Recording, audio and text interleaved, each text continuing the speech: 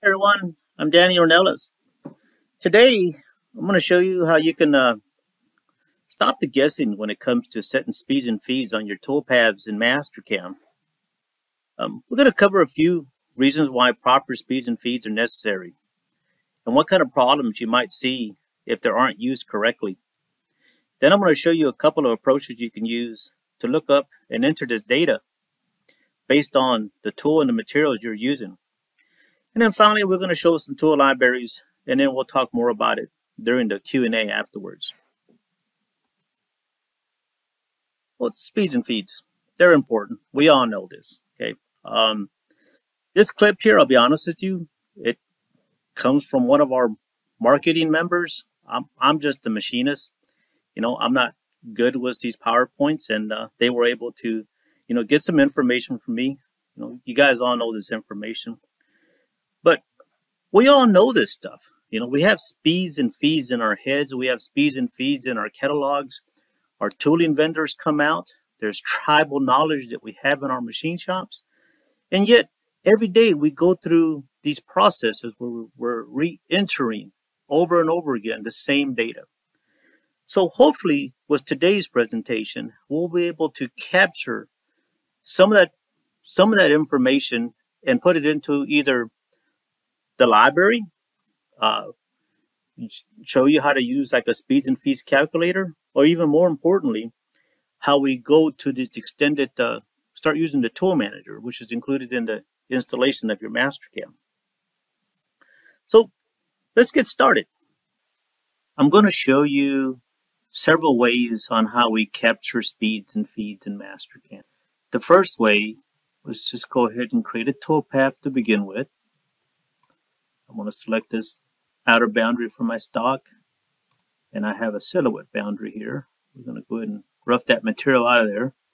And I want to use a half inch end mill. So typically what we do, we'll just go ahead and grab, select this to tools. We'll pick a half inch end mill here. And what we normally do is we'll just pick the tool, assign a name, and we'll just guess at speeds and feeds and say this is about how I want to cut it. We'll select OK to that. And we get a toolpath. What we want to do is try to take some of the guesswork out of it. And then another way to do this is maybe we'll just change the library. But one way is just to take a library, type in speeds and feeds, or we may have another library, like this library here, that has the speeds and feeds tied in to the tool itself. I'm just going to grab another half inch end mill here. It's going to remain at 20 and 18 because that's what I selected for the first tool. But for this tool, I'm going to right click and I'm going to say reinitialize speeds and feeds. And it's going to pick up the speeds and feeds that are set internally in this tool. If I go up here and I edit this tool, these are speeds and feeds, surface footage that are assigned to this tool. I come back to this tool, reinitialize, I get back to the default, which are assigned over here. Another way we can do this, I'm going to say, let's search for cut data. Search for cut data, and in this library, there's nothing. There, there's absolutely nothing that we can search. We don't have any speeds and feeds assigned to anything. So I'm going to go ahead and select a different library. I'm going to grab a tool from this library. Now for this tool, I'm going to right click and I'm going to say search for cut, cut parameters. Now we're adding a little more intelligence and we're taking the guesswork out of proper speeds and feeds based on the material that we're cutting. So this part, let's say we're making it out of stainless steel. And if I go, I've got some set parameters here. I'm searching for a minimum and maximum tool of half inch diameter. And I search. And I get this cut parameter. So if I select it and I accept it, I get proper speeds and feeds. So instead of having the speeds and feeds tied into the tool, what if we said, well, we want to make this part out of aluminum? I would have to go switch to, and with this method, or let's just go back to the beginning. With this method, I would just have to take a guess at the speeds and feeds. With this method, we have a tool that's set up. with the proper speeds and feeds for aluminum, I have to go back to the library and pick another tool that has the proper speeds and feeds with it.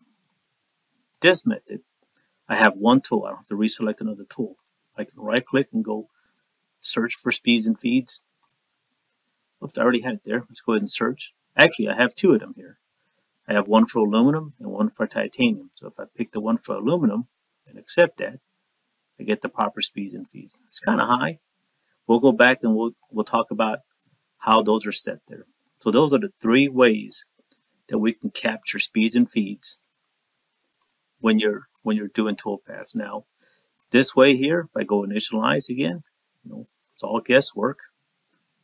You can also utilize, you know, the speed and feed calculator, but this is you'll have to type this every single time. We're trying to save that data so you don't have to keep repeating this over and over and over again.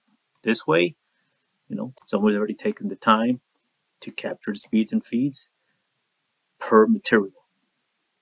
This one we have the definition of a tool, and then we have a whole bunch of cut data in the background to switch it, you know, the, the, to uh, accurately change the speeds and feeds based on the material you're cutting. So let's take a look at that. I'll compare it to my, I got a couple of libraries open here. Let's start off with this one here. Okay. So this is a just a regular Mill-Turn library. And if you look at this, we have 446 tools here. And we can just pick, got all kinds of random tools. And if you pick on one, let's go to, sorry, supposed to look at the properties here. Go to geometry, and this is what you'll see when you're in Mastercam. There's really nothing defined in here. Well, defined, but not accurate to the you know to the material you want to cut. There's no material cut data. We got some holders. go to the holder tab. Lots of nice holders here, okay? The other way, let's go to let's go to this library here. Now this library has 31 tool assemblies. And if we go pick up the assembly and go to the properties for it, within the tool itself are defined speeds and feeds. So if we go up here and okay, there he goes. We go edit this guy. We have some speeds and feeds that are tied in there. Actually, you can type them in down here. I'm just used to going to the old dialog box inside of Mastercam. But you can you can enter in some information here. Still, you'd have to if you want to change materials, you'd have to go from one tool to the other. The final way I want to show you is let's go look at this one here. I have a library, yet another library. This one has just one cutting tool. I did this for the example. I have a half inch end mill. I have a holder. And I created an assembly. All that you can do was, you know, in, inside the tool manager here. But what I also did was I added three materials. I added the aluminum, the stainless steel, and the titanium. And you can just keep adding all the materials you want. Now, under, under the materials, let's go to properties. Part of what helps create the proper speeds and feeds is by defining the densities and the hardness of the materials. So you notice we'll get different, different data right here. Now let's go to the cut parameters. Now what the cut parameters do, we then have to define what are you doing with the tool and what material? So for this one, we have aluminum. We're going to use this for, for roughing. We've defined this as dynamic milling aluminum. We're cutting aluminum. We're picking the material from the materials we have selected so we can pick the attributes up for the material so we can get proper speeds and feeds. Okay? That's how all this works right here. So for us, or for me, I should say, should be for everyone, Searching for cut data will give you the most uh, the most accurate speeds and feeds that you need. Oops, I'm in the wrong material again. Oh, there it is right there. We'll accept that. And we have our proper toolpath. So uh, we're offering access to any tool library shown in this video, and we're also available for downloads on the Tech Exchange from our vendors. So all of this is touching on best practices and good resources and this would be a good closing topic.